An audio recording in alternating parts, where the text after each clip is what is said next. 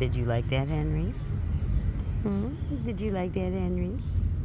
It's okay, baby. It's okay.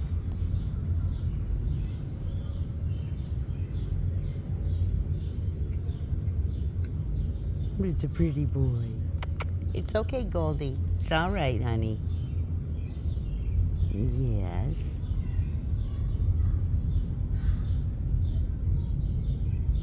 Who's the handsome boy? Good boy, Henry. It's a good boy.